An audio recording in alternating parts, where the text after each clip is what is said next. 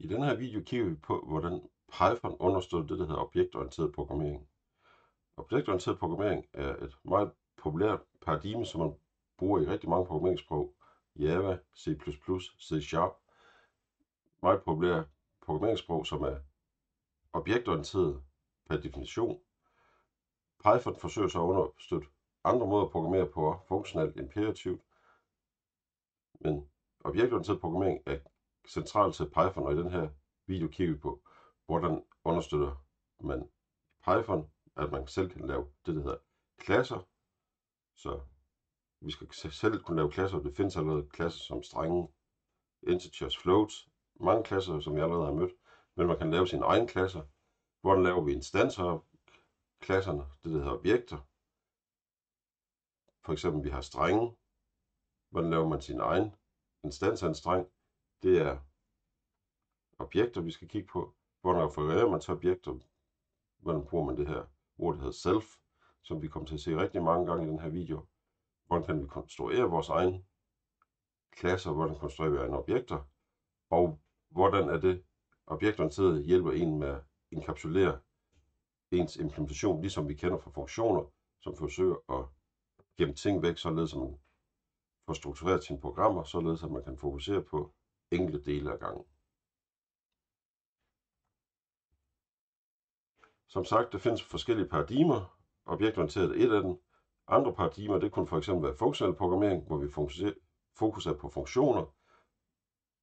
Man definerer sin egen funktion, man kan overføre funktioner som argumenter, vi har lambda-udtryk. Ting, der kommer ud fra en funktionel programmeringsverden. Imperativ programmering, vi kommer ud af while-lykker, for-lykker, if-statements. Det det klassisk hedder imperativ programmering. Det er ting, vi allerede har set på. Vi skal nu til at kigge på objektorientering. Vi skal introducere objekter, metoder på objekter, vi skal klasser. Alt sammen begreber, som vi skal have styr på efter den her video.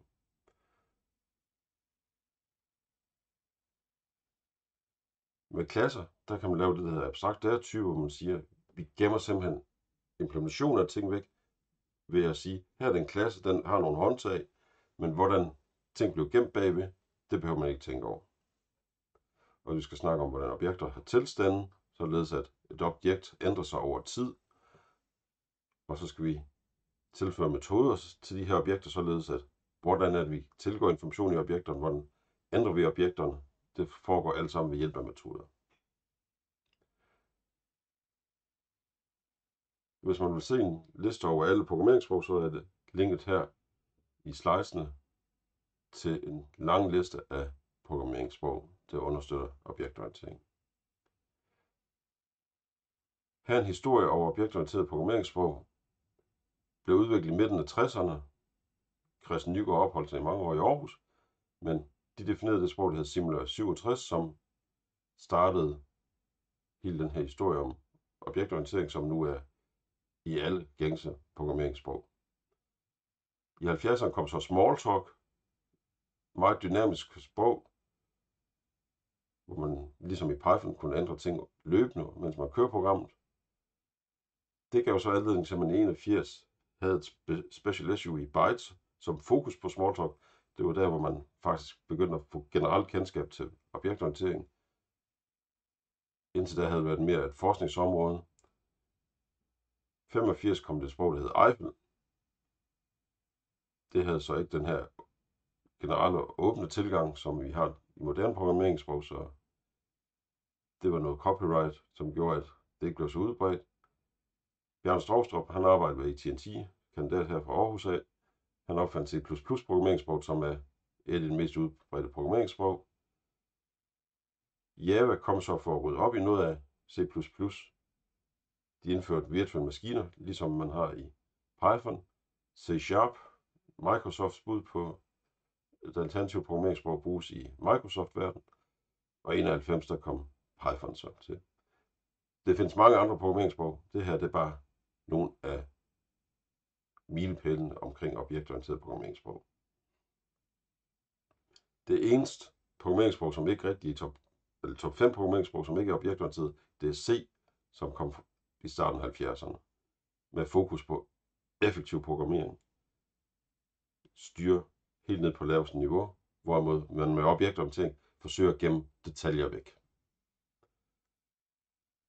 Men det var en kort historie om, hvilket sprog, der understøtter objektorientering.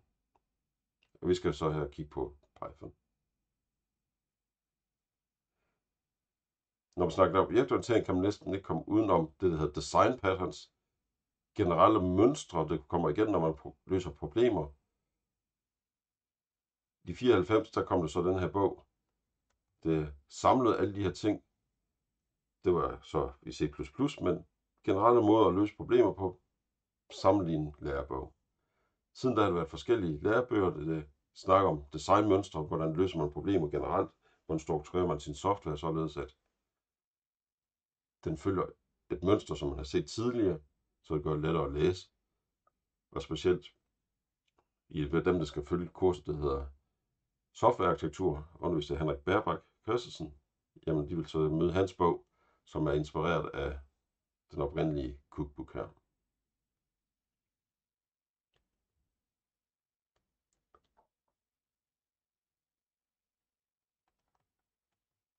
Men design patterns, det er ikke fokus på det her kursus, men hvis man skal lave større software i objektorientering, så bør man sætte sig ind i design patterns og tage et kursus om det.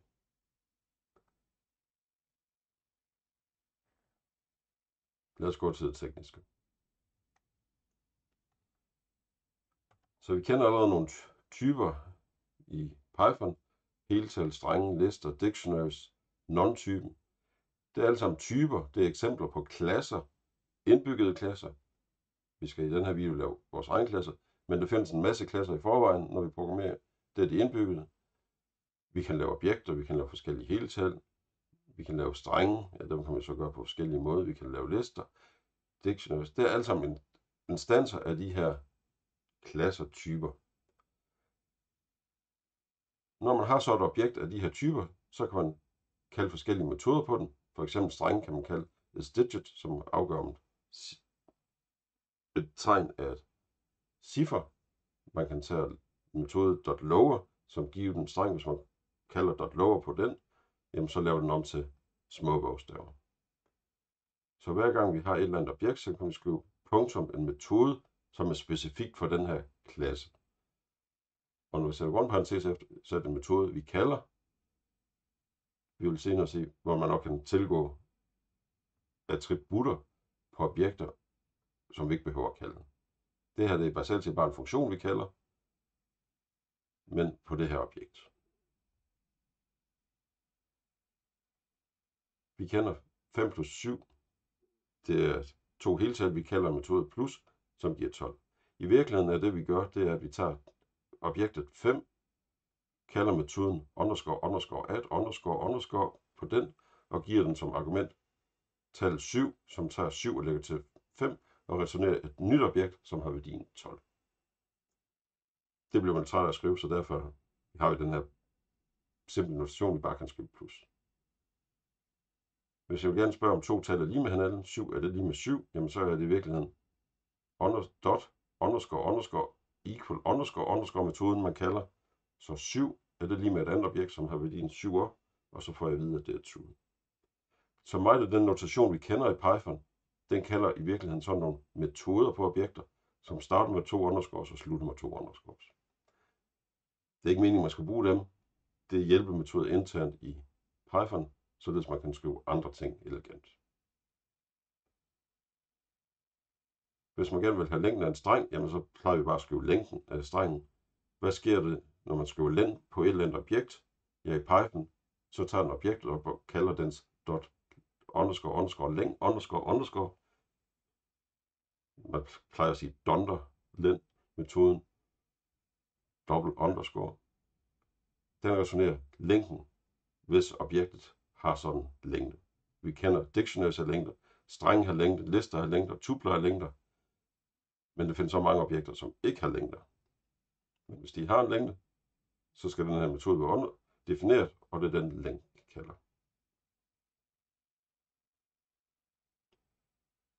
Lister, ja dem kan vi gange med to, så vi får vi listen der dobbelt så lang. Hver element bliver bare kopieret en gang til. Når vi ganger med 2, jamen så er det i virkeligheden dot, donder muld, vi kalder. Så gange med 2, det, det kalder bare en metode i Python. Hvis vi slår noget op i en dictionary, vi har en dictionary, vi gerne vil slå nøglen fu op, jamen så svarer det bare til, at vi kalder den her metode, der hedder underscore, underscore, get item, underscore, underscore. Med argument, det vi gerne vil slå. Så alle de ting, vi plejer at kunne skrive med gange og plus og dobbelt lige med, jamen det er virkelig nogle metoder på objekter. Og vi vil se, hvis vi gerne vil have nogle nye klasser, som skal kunne understøtte sådan nogle længde, multiplikation, addition, jamen så kan vi faktisk tilføje den funktionalitet bare ved at definere sådan nogle metoder her.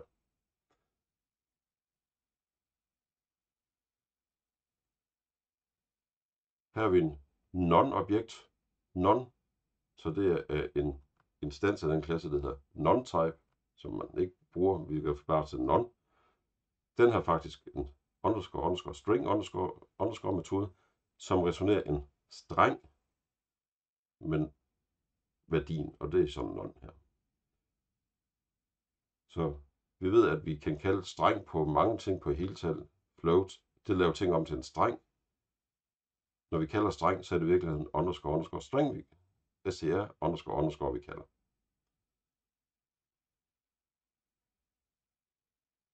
Det findes så en metode, der hedder underscore, underscore, representation, underscore, underscore, som kaldes af en funktion, ligesom streng, der hedder representation, som blev kaldt for eksempel af IDLE, sjældent. Og forskellen mellem string og representation, det er, at representation det skal gerne være et lovligt Python-udtryk, så er det, som man kan evaluere det, hvis man gerne vil. Og forskellen illustreres her ved en streng. Hvis jeg beder om at give mig strengen, ja, så giver man en streng. Så hvis jeg skriver den ud, så får jeg bare ABC ud. Hvor hvis jeg beder om repræsentation, så får jeg en streng med gåsøjne udenom, eller quotes her. Så hvis jeg skriver den ud, så får jeg strengen gåsøjne, ABC, gåsøjne ud. Det er en lille teknisk forskel mellem string og representation på strenge. Ofte vil det være det samme, og hvis man ikke definerer streng-metoden, jamen så streng vil str-funktion automatisk kalde representation-metoden. Men det findes to sådan forskellige metoder, man kan definere på sine objekter, som bliver brugt lidt forskelligt internt i Python. Underscore, underscore, string, underscore, underscore metoden, bliver den brugt? Ja, den bliver brugt hver gang, for eksempel hvis vi kalder print, print på et eller andet objekt. Ja, et objekt, det er et eller andet sted i hukommelsen. Hvis det, jeg skulle kunne skrive det ud, jamen så skal jeg lave det om til en streng, og det er så der, hvor man kalder str på den, som i virkeligheden kalder den her underscore, underscore, str metode. Men det her det er et eksempel på mange metoder, som vi allerede kender. Og vi skal nu til at se på, hvordan kan vi definere vores egen klasse.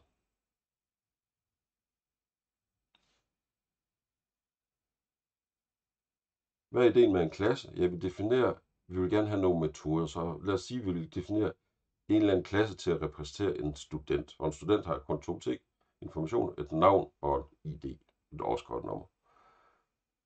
Så vi vil gerne kunne lave instanser af studenter. Vi vil gerne kunne tilknytte et navn til en student. Vi vil gerne kunne tilknytte ID til studerende. Og så vil vi gerne kunne få at vide, hvad er navn på den studerende, og hvad er den studerendes ID. Det er generelt en klasse, hvor vi erklærer, hvilken metode vi gerne vil have på den. Og når vi så har sådan en klasse, så vil vi gerne kunne lave instanser af den. Vi vil kunne lave tre forskellige studerende her. Anders Sand, Mickey Mouse og hvad han nu? Onkel Joachim. Det vil være tre objekter. Objekterne, ja, de har så noget data tilknyttet, og det er det, vi kalder data-attributter metoderne, som til at ændre de her data, de ligger i klassen, og det er det, vi kalder klassemetoder. Så klassen forklarer, hvordan skal vi manipulere vores objekter, og selve objekterne de er gemt dataen, således vi kan lave flere instanser i klassen, som har forskellige information.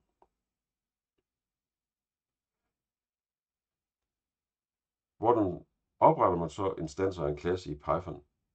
Ja, det gør man ved at bare sige klassenavnet, grundparenteser, bagefter. Vi har allerede set det mange gange. Vi kan lave en liste i Python bare ved at skrive list med rundparenteser og nogle argumenter bagefter. Det er i virkeligheden bare, vi konstruerer en liste, vi kalder en constructor på den. Det kommer vi til at se eksempler på lige om lidt. Men det vi skal have, vi skal have klasser, og vi skal have instanser af klasserne, som vi kalder objekter. Inden vi ser, hvordan vi faktisk skriver definitionen af en klasse, lad os lige prøve at se på et eksempel på en klasse, hvordan vi anvender den. Så lad os antage, at vi har lavet en klasse, der hedder student. Det kommer vi til på næste slide. Men hvis vi har erklæret en klasse student, så kan vi lave instanser af den her klasse ved bare at skrive klassenavn, kalde den, så vi kalder konstruktoren på klassen, som opretter et nyt objekt og giver mig det tilbage. Så nu refererer student DD til et eller andet objekt i hukommelse. MM refererer til et andet, SM til et tredje. Vi har oprettet tre forskellige objekter her.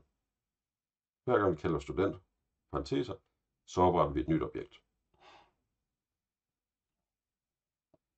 På DD-objekt vil vi nu gerne ændre navnet. Der havde studenterklassen en metode, der hedder setName, så nu kan vi sætte navn på den. Vi kan sætte ID'et, og det kan den gøre på hver af de her tre. Så nu har de tre objekter fået tilknyttet forskellig information, for det vi har kaldt de her set ID's. Og nu kan vi på hvert objekt kalde getName og getID og få at vide, hvad er dit navn og hvad er dit ID. Vi vil gerne have skrevet de tre navne ud, pas de tre forskellige idéer. Så her laver vi bare en liste af de tre objekter. Så de tre variablenavne, de refererer bare til objekter i hukommelsen. Vi laver her en liste, der refererer til de tre objekter i hukommelsen. Så det her det er effektivt. Vi kopierer ikke objekterne, vi laver bare en liste af de tre referencer til objekterne i hukommelsen. Her løber vi hver student igennem, så studenten bliver bare en reference til et af de her tre objekter, vi opretter heroppe. Og så hver gang, så kalder vi objektets dot .getName metode, så vi kalder en metode her, det gør vi jo nu. Så her kalder vi nogle metoder for at tilknytte information. Hernede kalder vi, kalder vi nogle metoder for at læse information.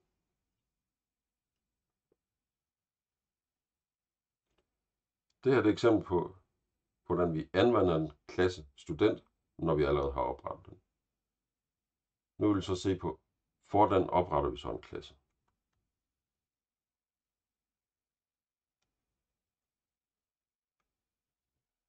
Så det her, det er klassen student, defineret med fire metoder. To til at tilknytte information, to til at læse information. Lad os prøve at gå igennem den her stille og roligt. Så det første er, hvis man skal definere sin egen klasse, så starter med et nøgleord class. Så det er et nøgleord, så man kan ikke have variabler, der hedder class i Python. Class, efter det kommer der så navn på klassen. Så her har jeg sagt, for nu er refererer student til den her klasse. Efter den kommer så en masse linjer med et eller andet niveau af indrykning, ligesom vi kender fra F og forlykker. Vi skal have et indrykning, når vi definerer en klasse. Vi skal igen huske at sætte kolon bagefter, ligesom vi har ved F og for og while. Den første linje i sådan eller de første linjer, de kan så bestå af en streng, en document string, som er en dokumentation, der vil typisk beskrive, hvad er formålet med den her klasse, den repræsenterer et eller andet. Det er bare en, en streng, som man kan bruge til at fortælle brugeren, hvordan skal man bruge den her klasse.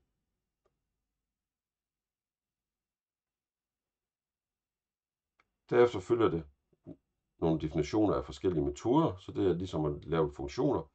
Vi kalder bare def, så vi laver nogle metoder, hedder det, hvis det er på objekter. Altså, metoden defineres i klassen.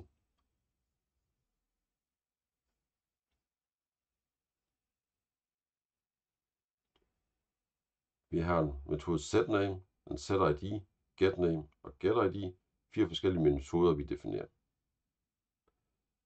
Så forskellen til en normal funktion, det er, at her er vi i gang med at definere en klasse. Inden en klasse definerer vi metode. Metoder de adskiller sig fra en funktion ved, at det første argument, det skal altid være objektet. Så hver gang setName bliver kaldt, så hvis jeg har et eller andet objekt, vil jeg kalde objekt.setName, så et studentobjekt.setName, jamen så vil den her metode blive kaldt, hvor self vil blive tilknyttet det her objekt, man overgiver som argument. Det man kalder dot på, det bliver første argument. Så hver gang man laver en metode, skal man huske at skrive self som det første. Og self er ikke et kodeord, nøgleord. Man kan bruge et vilkårligt variabelnavn her, men konventionen er i Python, det hedder self. Så husk at skrive self, hver gang man erklærer en metode i Python.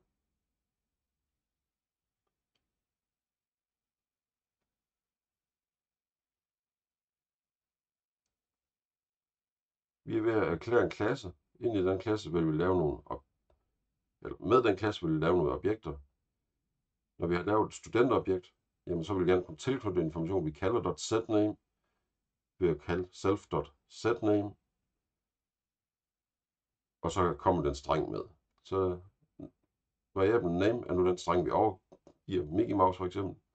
Den vil gerne tilknytte til det her objekt. Der kan man sige, self, det der objekt ude i hukommelsen, tilknyttet til dens dataattribut name, den her streng name, vi overgav her. Så name og name er to forskellige. Men hvis man vil tilknytte noget data til et objekt, så er det typisk, at variabelnavn er det samme som den attribut, man ønsker at tilknytte værdi. Så self.name, ja, vi kunne bruge det til at kalde metode, men det refererer også til dataattributter, som vi kan tildele værdier.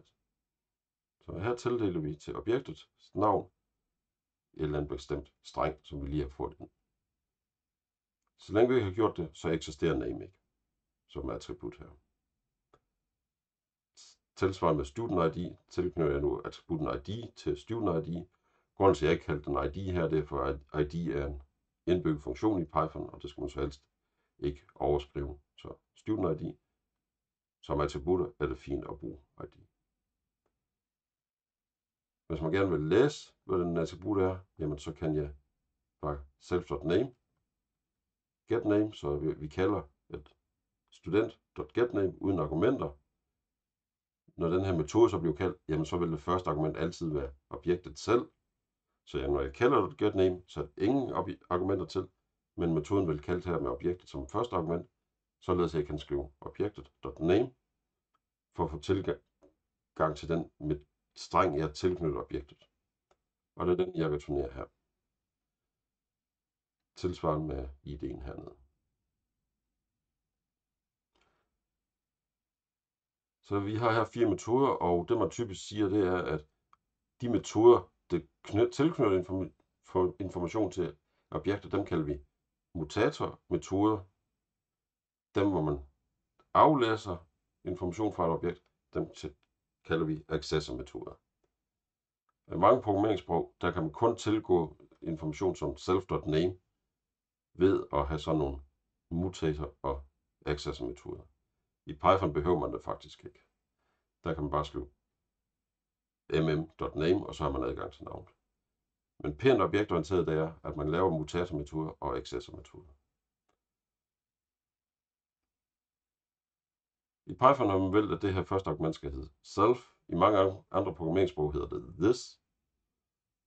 Og ofte er this så ligefrem kode, nøgleord, det er det ikke i Python. Python, der skal man huske at skrive self som første argument til alle metoder, man definerer i en klasse. Det her var, hvordan man definerer klassen student.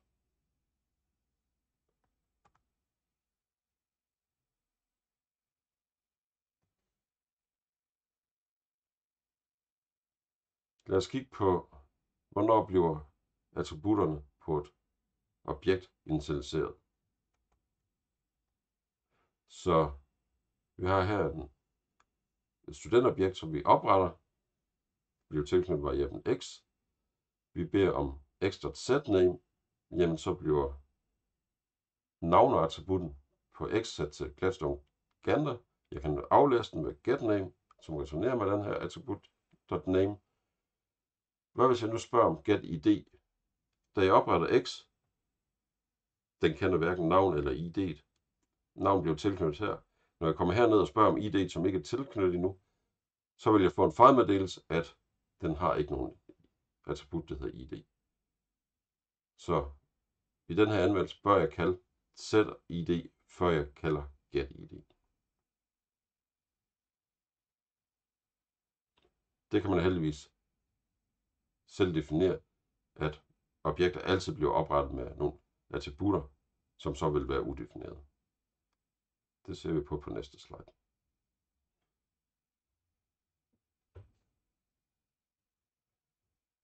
Når man opretter objekter, vi kalder student med parentes udenom, ja, der vil det faktisk blive kaldt en metode, der hedder underscore, underscore, init, underscore, underscore med det her objekt.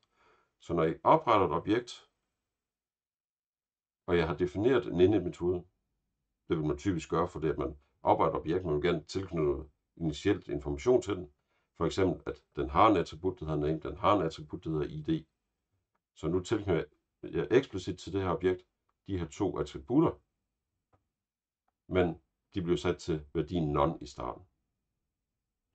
Så hvis jeg kalder student bare med rundt to runde parenteser, så vil den kalde ind-metoden med objektet som argument, husk self, og nu kan jeg så initiativet, som jeg vil, og her har jeg bare sat det til non-metoden. Det vil så gøre, at hvis jeg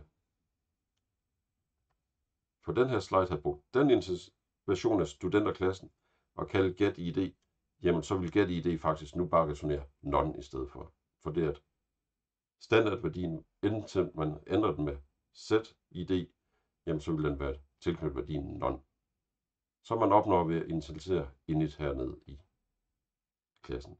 Så ind i en klasse, lav en funktion, eller en metode, som hedder init, som initialiserer klassen, eller instanser af den her klasse.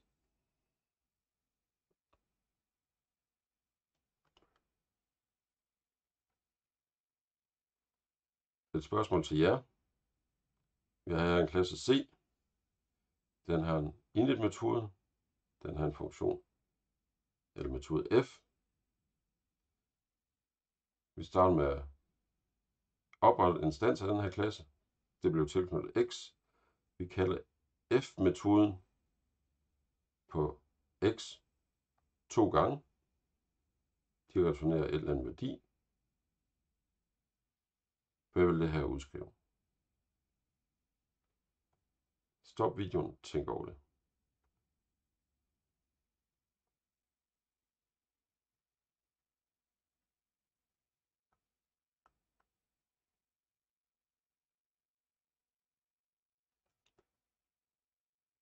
I det eksempel er svaret 3.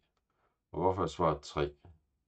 Ja, vi har her et objekt, x, vi opretter den instans af c. Når vi kalder c hernede, så laver vi et nyt instans af klassen c, og det vil kalde init-metoden. Det vil nu tilknytte til det her objekt, attribut, der hedder v, værdien 0. Så efter jeg kalder c hernede, så vil x dot v vil være lige med 0. Nu kalder jeg så x dot f en gang. f, den tager så aflæser v-attributten, lægger 1 til. Så nu er det, før var det 0, nu er den 1. Den tilknytter så nu min v-attribut, så x dot v nu bliver talt 1 op, og det er den, jeg får returneret her. Så det første kald her vil returnere med værdien 1. Nu kalder jeg igen f-attributten. Vi aflæser min v-attribut. Den vil så sige, ah, den var 1 plus 1, det er 2. Det tilknytter jeg nu mit objekts v-attribut. Det er 2, det returnerer jeg. Så ekstra f anden kald returnerer 2. Så nu 1 plus 2, det giver 3. Så det er vigtigt, at vi har her et objekt, hvor f-metoden den faktisk ændrer på tilstanden af objektet således at det først var 0, så blev det 1, så blev det 2.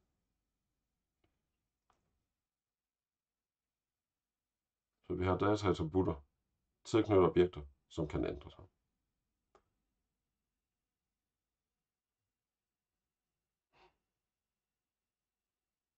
Vi har set, at vi kan kalde metode student kun med one parentes, men man faktisk, kan faktisk afgive argumenter til en klasse. Så når vi laver en instans af klassen, har vi mulighed for at tilføje argumenter til kaldet til konstruktoren til klassen. Det, der sker, det er, at vi kalder init-metoden med de her yderligere objekter. Init-metoden bliver altid kaldt med objekt som første argument, men derefter kan man komme med alle de argumenter, som man nu vil overføre som argumenter til studenterklassen. Her er så valgt at lave dem som keyword-argumenter med default værdier, så man faktisk kan undlade dem.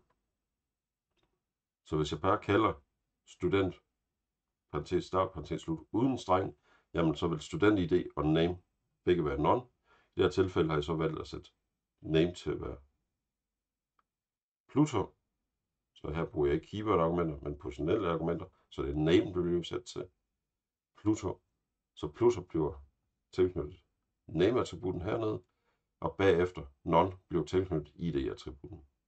Så når jeg udskriver get id, så får jeg non ud, for det var default argument til student id, som jeg undlod, da jeg oprettede den her.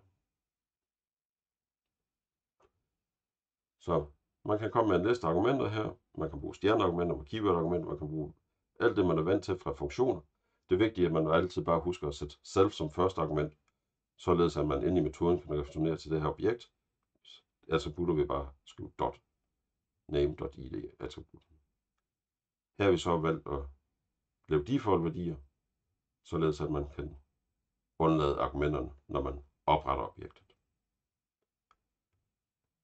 Så indet metoden i klasser kan blive rigtig kraftfuld ved at lave de her default argumenter.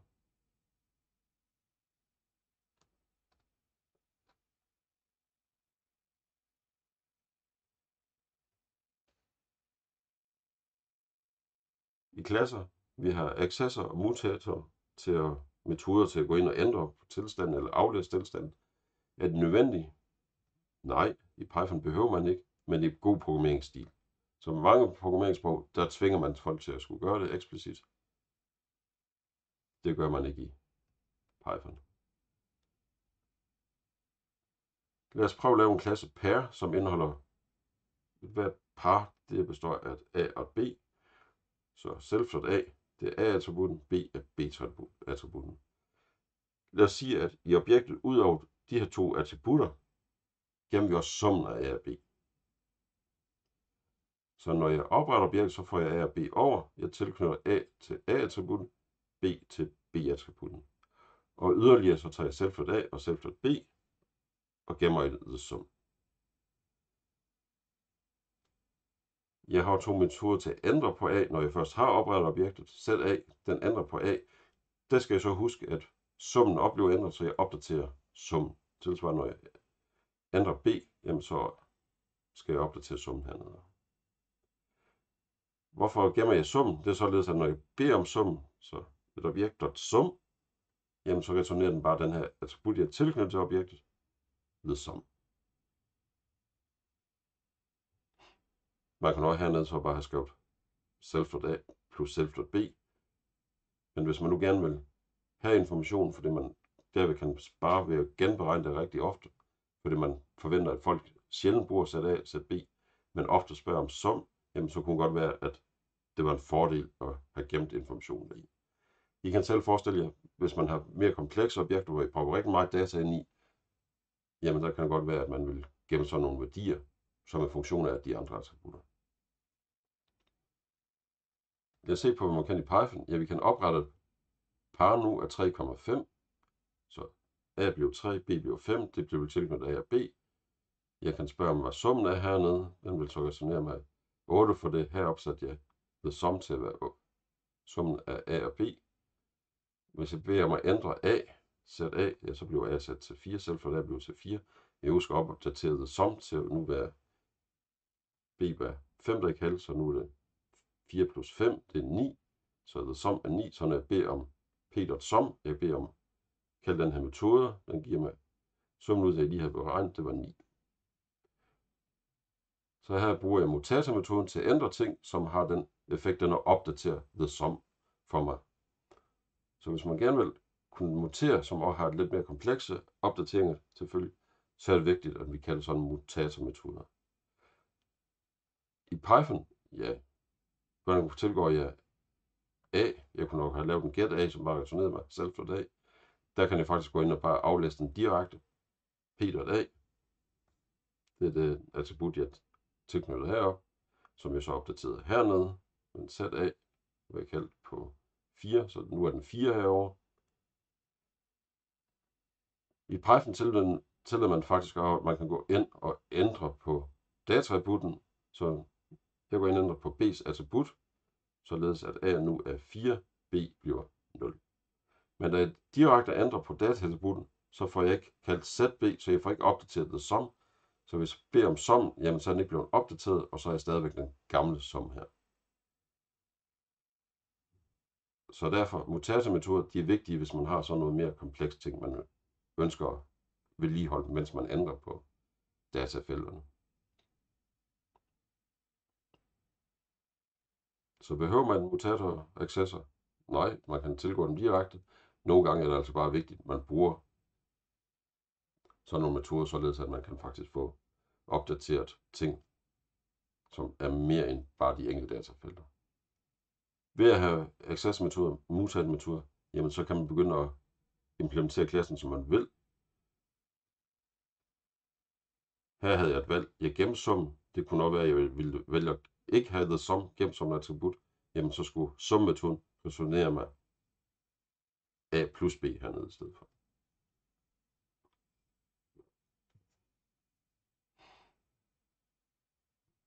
Det var lidt om access og mutators.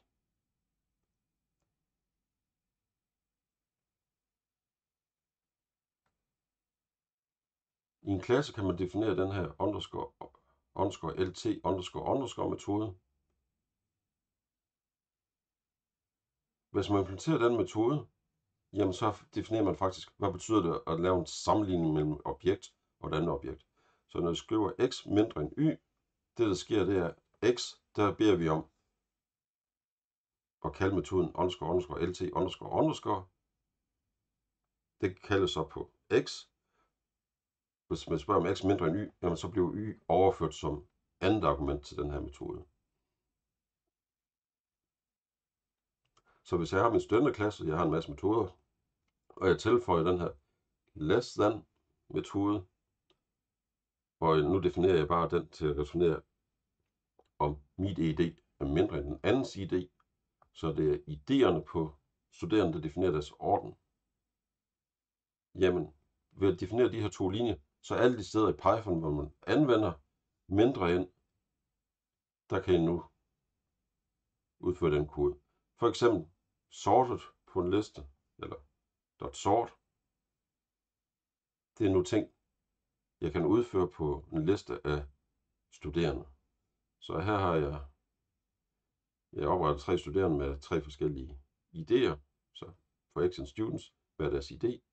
Nu kan det bare kalde sortet på students, hvad gør sortet? Ja, den sorterer på en eller anden måde ved at bruge den her less than metode. Den bruger bare mindre end til at sammenligne to objekter. Hvis x er mindre end y, jamen så skal x stå før y. Så jeg kan bare kalde sort på students nu, og så nu får jeg de studerende ud i en rækkefølge, sorteret efter idéerne. Så bemærk, det studerende, jeg får ud her, og jeg eksplicit får idéerne. Det er ikke idéerne, jeg sorterer, det er de studerende, jeg sorterer her. Så alle de steder, hvor man gerne vil have en ordning på sine objekter, behøver man bare at definere den her mindre end operator, som hedder underscore underscore lt underscore underscore. Igen husk self som første argument, og det, der står på højre siden af mindre end, det skal være andet argument.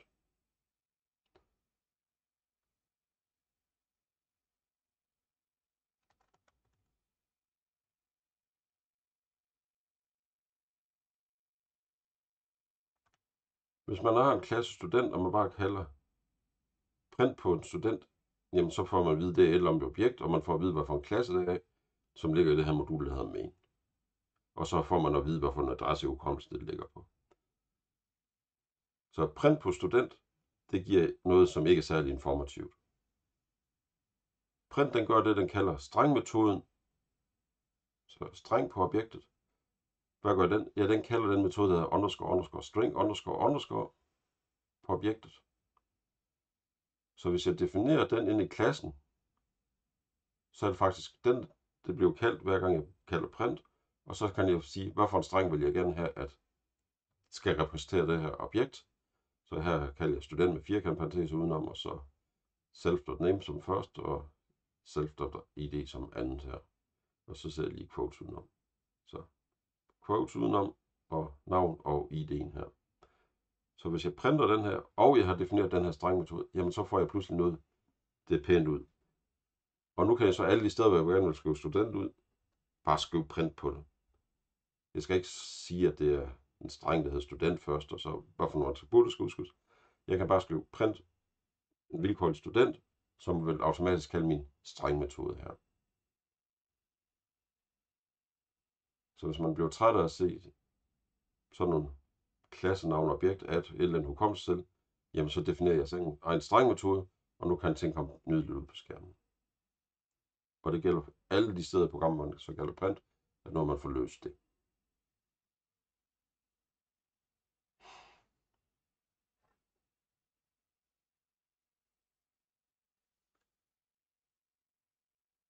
Vi så tidligere på det her eksempel på et objekt, igennem gemt A og B og summen, hvor det var vigtigt, at vi havde en mutator-metode til at ændre B, som også skulle ændre summen. Der kunne man, gå, ville man gerne have, at brugeren kunne ikke gå ind og ændre B. Vi ville gerne have mulighed for at forbyde brugeren at gå ind og sige, ændre B, uden at kalde en ZB-metode. Desværre i Python, der er alt objekt offentligt tilgængeligt. Man har dog den konvention, der siger, at hvis jeg tager en dataattribut og lader den starte med et underscore, så bør man ikke tilgå den udefra. Så her er en klasse, min klasse, som jeg har metode sættet xy, som tager to argumenter a og b, og x, underscore x bliver til a, underscore y bliver til b. Så jeg har to dataattributter her, som hver især starter med en underscore. Det er bare vari lovlige variabelnavn. Men øh, de starter med en underscore, og så kan jeg bede om at få summen ud ved at bare self.underscore x, self.underscore y.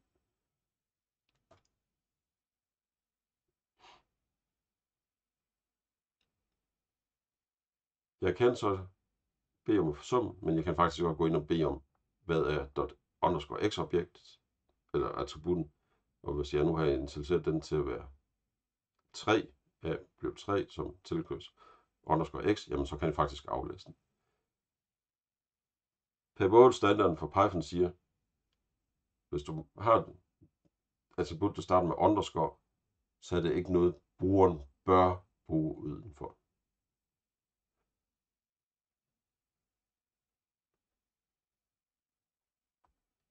Det er bare ikke noget, der forbyder en at gøre det. Klasserne er i til, at vi laver nogle håndtag på dem. Det er de metoder, brugeren skal bruge hver gang uden for klassen. Og så har vi nogle internt i klassen, som brugeren af klassen ikke skal vide eksisterer. Man behøver ikke vide, at det findes en underscore x. Det behøver ikke vide, at det findes en underscore y. Man kan bare bruge klassen ved at kalde den, en instans af den, sæt og get som. Hvordan ting gennem internt behøver man ikke at vide, og der vil man helst skjule det ud af til. Det kan man mange programmeringssprog, det kan man ikke i Python. Men konfigurationen er dog, hvis du sætter en underscore uden for, foran, så beder brugeren om problemer, hvis de begynder at tilgå sådan noget som objekt underscore x, og specielt hvis man begynder at tildele det værdier. Det er så her, jeg vil give en sammenligning med andre programmeringssprog. Så lad os lige kigge på C++. Så hvis man kun vil lade Python ignorere den her slide. Men det er for at give en fornemmelse af, ting ser ud på en måde i Python, hvordan det se ud i andre programmeringssprog. Og jeg tager her C++ og Java, som er to meget udbredte objektorienterede programmeringssprog. Så i C++, en klasse, den defineres som nøgleord class, klassenavn, men ikke en kode, men start krølleparentes, slut krølleparentes, som er dernede. Man kan have metoder ind i den. Tager to argumenter, man behøver ikke at skrive this, eller self. Man skal bare angive argumenterne. Så C++, det der med self, det, det tager den sig af. Det behøver man ikke tænke over. Det hedder så this, men man skal kun angive argumenterne. Man skal dog angive, hvad for en type det er. C++ er typesprog, så man skal altid sige, hvis jeg kalder 6 y, jamen så A og B hele tal. Man skal også sige, hvad er det, jeg får tilbage. Void betyder, at jeg får ikke noget tilbage, så det er non i Python, men det hedder så void her. Og man får faktisk slet ikke noget tilbage. Her har vi en metode, der returnerer en int, så det kan man skrive foran. Python funktioner, metoder kan returnere hvad som helst. De behøver jo ikke altid at returnere en end, nogle gange kan man returnere en streng. I andre programmeringssprog som C++, der skal man sige, det bliver jo kun en int, du får tilbage, og det kan du stole på. I forhold til det sidste eksempel, jamen så i C++, der kan man sige, i den her klasse, der findes der to dataattributter. De er x og y.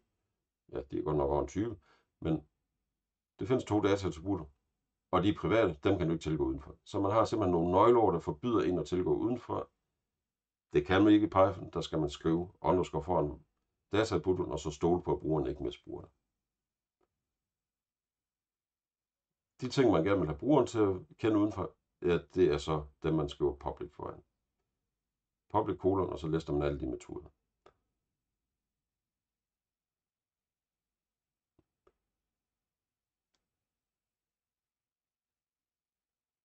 For at oprette objekter i C++, jamen der kan man bare sige my class, så lave en instans af my class, og så navn på variablen. Nu har vi her oprettet en variabel af den her instans. Så vi laver et nyt my class objekt. Jeg skrive det hernede. Man kan nok gøre det på andre måder, men det her er bare en måde, det foregår i C++. En anden måde end i Python. Man ser så ud i Java igen. Class, nøgleord, navn på klassen, krølparentes, krølparentes, slut. Vi erklærer nogle dataattributter, som den her klasse har i int. Vi kan igen bruge private foran, modsætning til C++, altså en kolon her. Det skal stå foran hver dataattribut. Her vi så skal flere på en linje. Vi kan lave metoder. Vi kan sige, at de er public, så brugeren udenfor kender den. Vi kan sige, at de ikke returnerer noget. Igen, dataattributterne, det skal overføres, eller argumenterne, det kaldes med, de blev tilknyttet A og B, som vi så kan tilknytte attributterne her. Og her så er A, det er et argument, X, det er i virkeligheden et attribut på objektet, så det er x i Python. Der kan man undgå at skulle referere til objektet. Hvis man bare refererer til noget, som er dataattributter i den her klasse, jamen så slipper man for at skrive self. Så i Python skal man hele tiden være eksplicit og skrive self. et eller andet, hvis man ønsker at ændre noget på et objekt. I andre programmeringssprog, som Java og C++, så skriver man bare attribut. Her er så en metode, den tager ikke nogen argumenter, get sum, den returnerer dataattributen x og y's sum, den returnerer en int, og den kan man kalde udenfor.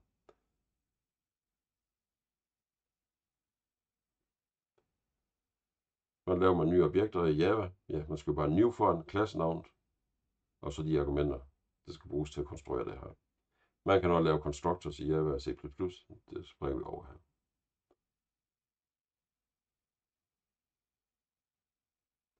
Det er vigtigt her, hvis vi skriver objekt, som er en instans af det her myClass, og forsøger at tilgå en dataattribut, som er erklæret privat, som man må ikke tilgå udenfor, jamen så vil Java, og det samme gælder for C++, siger, at det her det er ulovligt. Der hjælper typerne i sproget en med at få noget kode, man har lidt mere tillid til, så man ikke ved en fejl tilgår noget, som man ikke burde tilgå.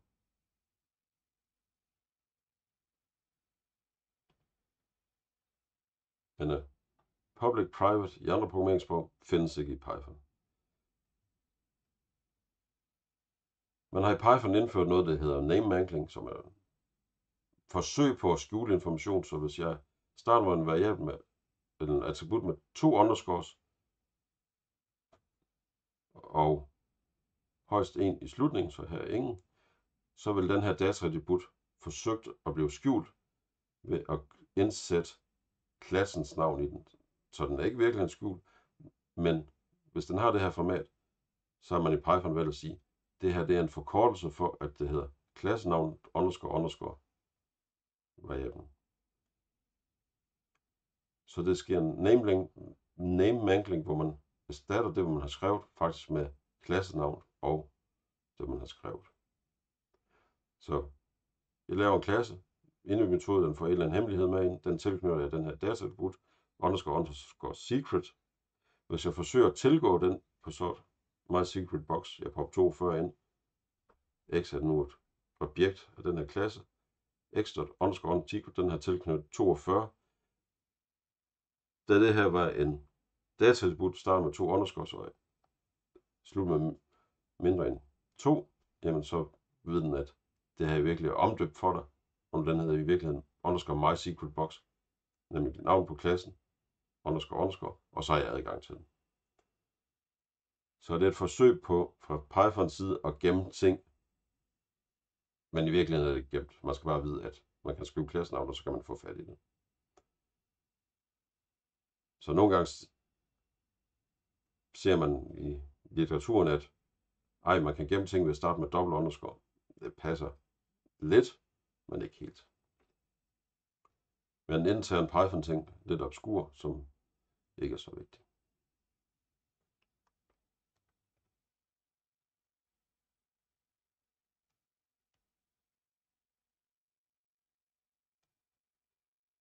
Vi har set, at vi har klasser, vi har objekter. I objekterne har vi dataattributterne, og i klasserne har vi defineret de metoder, som opererer på dataattributterne.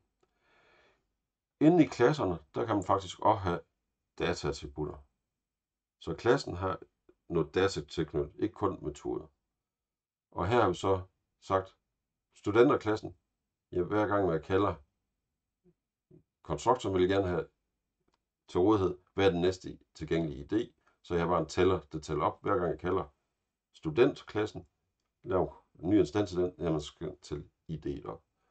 Det vil en variabel, som er lokal for den her klasse. Man kunne have lavet det med en global variabel, men det er pænere at proppe det ind i klassen her.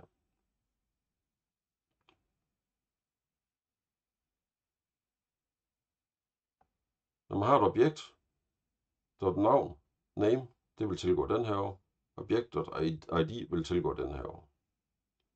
Hvis jeg forsøger at skrive objektet next ID, jamen den findes ikke herovre. Der vil Python så sige, jamen så går jeg over i klassen og leder efter nextID, og den finder jeg så, hvis jeg har en student.dd og kalder student.dd.nextID, jamen så får jeg faktisk fat i det tretal herovre.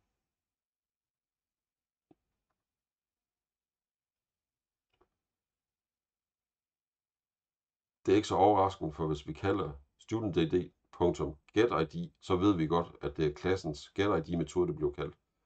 Og nextID, ja, det er bare en instans, hvor vi ikke kalder metoden. Vi bruger det bare som en dataattribut. Og hvis man har en student klasse, så kan man bare skrive student.nextID, jamen så har man adgang til den her.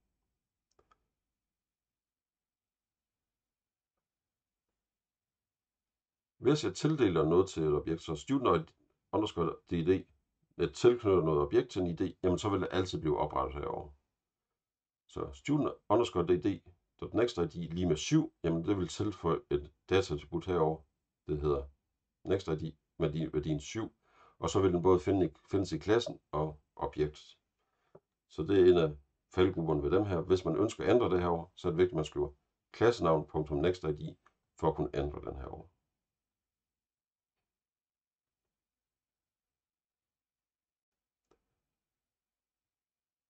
Lad os prøve at kigge på et eksempel. Så vi har vores klasse student. Vi har next ID, det er den næste ID, vi vil bruge. Hvis jeg laver en instans af den her klasse, så jeg kalder student hernede, student, screws med doc, jamen så vil den kalde init-metoden med strengen som navn. Så jeg har lavet et objekt, databunden name bliver sat til det navn, jeg overfører, og så er spørgsmålet, hvad skal ideen være? Jo, jeg tager klassens next ID, det er så en herop. Den slår jeg op og laver om til en streng. Det bliver ideen hernede.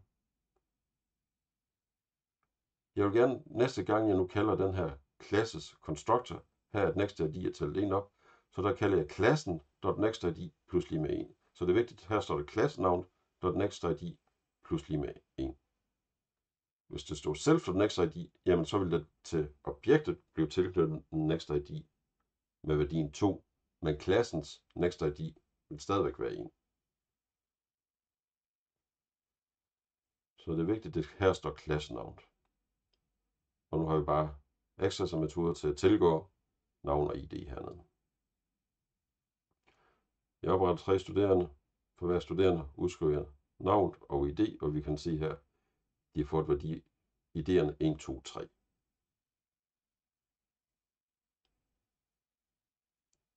Men det her er et eksempel på, at vi har en klasseattribut til at gemme noget for klassen, således at hver gang vi kalder metode, kan vi ændre på den her værdi.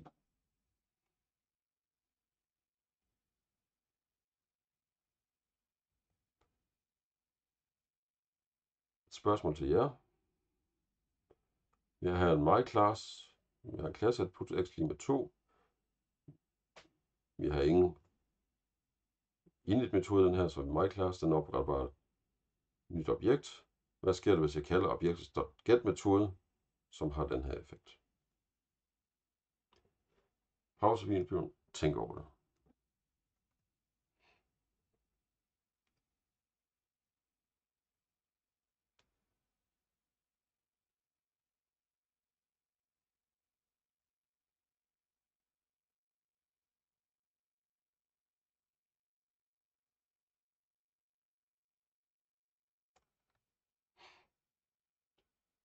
Ja, vi kalder objektmetoden her, eller objekt metode.get her. Vi opretter myClass. MyClass er en x lige med 2 som attribut ind i sig. Så det ligger over i klassen. Nu skal vi så se, hvad sker der, hvis vi kalder get her. Så get starter med at slå self x op. Objektet self det har jeg lige oprettet. Det har jeg ingen attribut x. Så det her .x, det vil referere til objektet. Fandtes ikke, det går videre over i klassen. Der finder ud af, at klassen har en dataattribut, der hedder x, som har værdien 2. Så 2 plus 1, det giver 3. Den tilknytter jeg så til self.x, så nu får objektet tilknyttet værdien 3 til x-attributten, Og nu spørger jeg så, okay, myClass.x, ja, det er stadigvæk totalt, og det har jeg ikke ændret på. Objekt har nu fået tilknyttet værdien 3, så det er 2 plus 3, det her vil give 5. Vi kan lige kigge på, hvad den er. Vi har klasse, som har en get-metode. Den har en dataattribut, der hedder x med 2. Når jeg opretter objekt hernede, jamen så får jeg et tomt objekt, objekt Og når jeg tildeler den her ind, så er det herover x bliver tilknyttet lige med 3. Så i Python, der kan vi både have klassen, der har en attribut x, og et job, objekt, der har en attribut x. Det er vigtigt, at man har styr på, er det objektattributter eller klasseattributter. Ofte så arbejder jeg kun med objektattributter, men hvis man har begge dele, så er det vigtigt, at man har styr på, at hvis man ønsker at ændre på klasseattributen, så skulle det stå myClass herovre. Om det står myClass eller selvtaget, det er ligegyldigt, så længe det ikke findes en x-objekt over i, eller x-attribut over i objektet.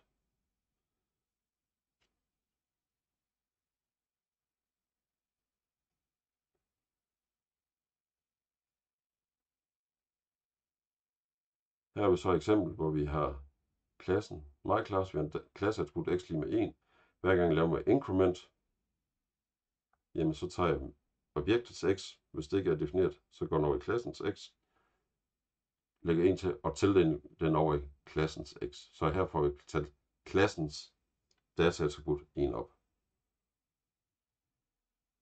Vi opretter to instanseobjekt her. Vi kalder hver gang increment, da det ikke findes nogen x, så går det over, tæller 1 op herover. Så efter at tage det op, så er klassens x-attribut, ja, den blev til 3. Nu tilgår jeg x-attributen, den findes ikke, så den går over for fat i 3, det gør den også her. Så derfor får jeg udskrevet 2 gange 3 her. Så igen et eksempel på, hvordan objektattributter og klasseattributter, hvis objektattributten ikke er der, så går vi over for fat i klasseattributten.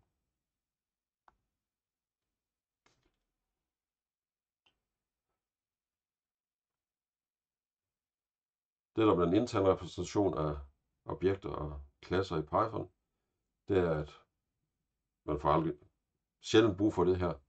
Men hvis man pludselig står med et objekt, og man har glemt, hvor kom det objekt fra, hvad for en klasse er det, jamen så kan man faktisk kalde, hvis man har et objekt her, en studentobjekt Mickey Mouse, MM, kan man spørge underscore underscore klasse. Det vil så fortælle en, hvad for en klasse er det fra. Så det er et klasseobjekt. Og der kunne jeg skrive dot underscore underscore name bagefter, og så ville jeg få at vide, hvad er navn på den klasse, den kommer fra. Man kan også skrive underscore underscore digt. Det vil så fortælle mig, hvilke data der er blevet defineret i det her objekt. Og det her Mickey Mouse, der har fået navn, og ID defineret til henholds Mickey Mouse, og ID lige med 1. Så digt giver mig en liste af alle attributterne. Hvis man nu ikke kan huske, hvad man har defineret, så kan man hurtigt lige printe den, og så se den. Så det er nyttigt at kende det her, hvis man skal til at debugge noget kode, der ikke virker. Class, ja, så får man fat i et klasseobjekt. Så det er en instans af klasse, som hedder student. Et klasseobjekt, ja det har en metode. Så studenterklassen, der kan jeg kalde underscore underscore digt på den. Og der får jeg så ikke en dictionary ud, men noget, det hedder en mapping proxy, som virker som en dictionary over alt det defineret derinde. Og der kan man se, den her klasse student, hvor var den defineret hen? Ja, den er defineret i et eller andet modul, der hedder main. Den her attribut, der hedder NextID, som er 2. Jeg brugte jo den første til Mickey Mouse, og NextID blev kaldt op. Jeg oprettede den init-metode. Jeg oprettede den getName-metode. Jeg oprettede den getID-metode. Det var alt sammen noget, jeg oprettede inde i den her klasse student. Og der findes der så yderligere digt. Ja, det er den, jeg lige vil skrive ud her. Indeholder alle attributterne på klassen. Så findes der noget, der hedder vgraph, som er bare noget internt for garbage collection. Og så doc, ja, i starten af hver klasse, der skriver man en dokumentationsstreng. I den har man faktisk direkte adgang til ved bare underscore, underscore, doc, underscore, underscore her. Men digt, name, class. Måske får man gavn for det. Det er i hvert fald en internt tilgang til ting i objekter og klasser i Python. Andre programmeringssprog de vil ikke give adgang til det. De går ud fra, at du ved, hvad man har af objekter.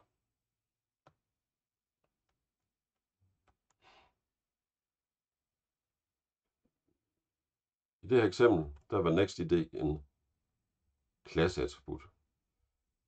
Findes de andre programmeringssprog? Ja.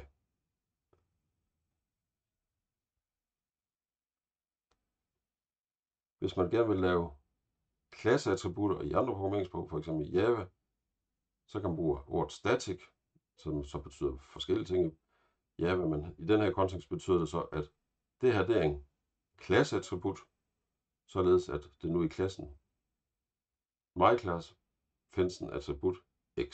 Så den ligger herovre. Og så er eksempel, vi opretter to instanser, det med new, og vi tæller det op, og så den bliver talt op, og så kan jeg skrive dem ud, og få videre de tre begge. Hver af de her, de har ikke noget x-metode, så vi går herover, og sådan vil den være 3. Det, der er vigtigt, budskab her mellem Java og Python, det er, i Python der kan man både have dataattributter og klasseattributter, som har samme navn. Det forbydes i Java. Man kan kun have den ene af dem.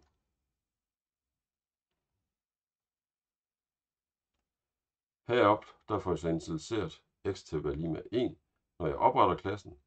Så klasse attributen starter med at være 1, men den kan jeg så ændre hver gang jeg kalder increment.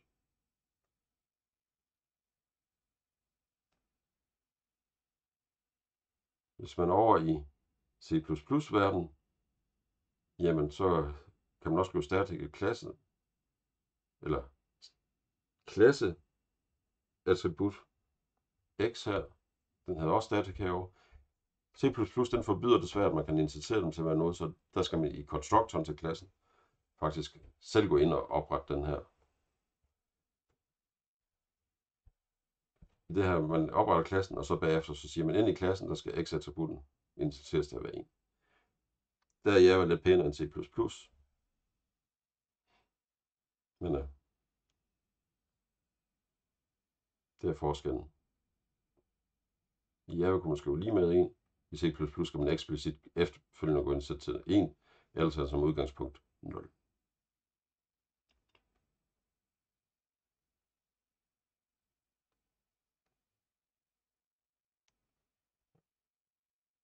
En nyttig anvendelse af klasser. Vi har en klasse, color.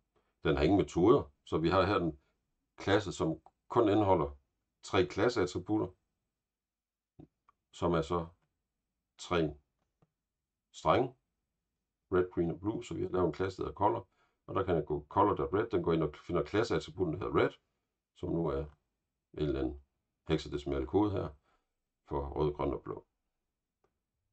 Men det her er et eksempel på, at man kan bruge klasser til mange ting, og her ved udnytte klasseattributter kan faktisk repræsentere en mængde af konstanter, så vi kan referere til dem ved hjælp af navn. Simpelt eksempel på klasse dataattributter.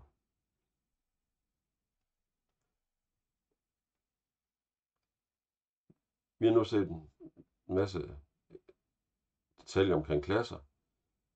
Pavot siger nogle ting omkring klasser. Klassenavnen de skal starte med stort. Når en klassenavn skal starte med stort, og hvis det er flere ord efter hinanden i klassenavn, jamen så hvert ord starter med stort. Ikke underscore, men med stort. Metoder. Ja, de skal have det her selv som første argument. Man kan bruge andre variabelnavn, men konventionen er brug selv til det.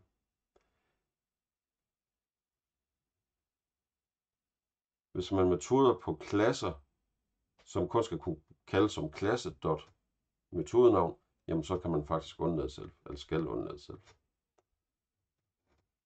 Men selv, hver gang man kalder på et objekt, dot metodenavn, jamen så er det vigtigt, at den metode, den tager selv som første argument. Så er den her konversion om, hvis man har underskår i starten af attributnavn, så er det lokalt til metoden. Vi har set det som eksempel på dataattributter, men man kan også have lokale funktioner, metoder ind i en klasse, og hvis de har et underscore, så, så bør man heller ikke bruge dem uden for klassen. En af de ting, der så er lidt sjov i PEP8, det er, at forsimple dataattributter, lad nu være at begynde at lave access mutatormetoder. En hver Java-bog vil sige, det skal du gøre. Python siger, det er der bare overhead, lad være at gøre det. Bare tilgå dem direkte.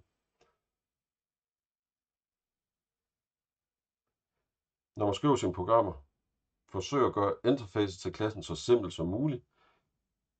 Hvor færre metoder det er, hvor nemt er det at vedligeholde koden. Man kan altid bagefter sige, ej den her metode, som jeg har inde i klassen, det ville faktisk være rart, at den var kendt udenfor, så er nemmere at gøre noget, det er lokalt til metoden, som havde et underscore name, offentligt tilgængelig bagefter.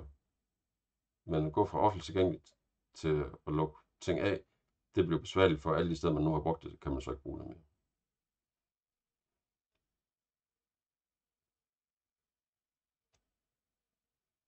Sidste slide. Mange klasser har nogle indbyggede funktioner. Equal for at kunne slå lige med lige med, for at sammenligne to objekter. Hvis man også har en hash-metode, så skal den nok faktisk godt være ens. Så to objekter, det er lige med lige med hinanden. Deres hashværdi skal også være den ens. Det kan være to forskellige objekter, som er forskellige heroppe, har den samme hashværdi. Det er fint, men det er vigtigt heroppe, at hvis de er ens objekterne, hvis, hvis man laver metoden underscore equal, der siger, giv det objekt, et andet objekt, er de ens, ja, det gør, foregår typisk at man sammenligner attributter. Hvis de attributter her er ens, jamen så siger vi, at to objekter er ens. ja, så skal det jo være, hvis man laver en metode, der hedder hash, så skal den give den samme værdi. Metode underscore string til at udskrive med print, eller hver gang vi konverterer noget til en streng, for at kunne sætte den sammen med en anden streng, jamen så kaldes den her underscore underscore string. Underscore underscore rep, den bliver kaldt for eksempel i DNE-konsollen, men det er typisk en eller anden repræsentation af objektet, som vi så kan bruge til at konstruere objektet ved at kalde et valg på det, den streng, vi får ud. Underscore rep, det skal typisk være et lovligt Python-udtryk. Vi kan kalde længde på objekter. Hvis underscore længde er defineret, jamen så er det den, det bliver kaldt, ellers får vi at vide, at man ikke kan tage længden på et objekt. Doc, det er dokumentstrengen. Det er den, man skriver i starten af klassen. Således at hvis man kalder help på en, et objekt, jamen så er det dokumentstrengen, man får ud. Hash, den er essentiel, hvis man skal kunne gemme objekter i dictionaries og sets. Så skulle man have den her hash-metode for at kunne lave sorteringer. Min, max, jamen så skal mindre end være defineret. Så det er less than, man skal definere. Og så vil man næsten altid lave en init-metode til at konstruere en sættering af klassens objekter. Det her var en hurtig introduktion til objektorientering i Python.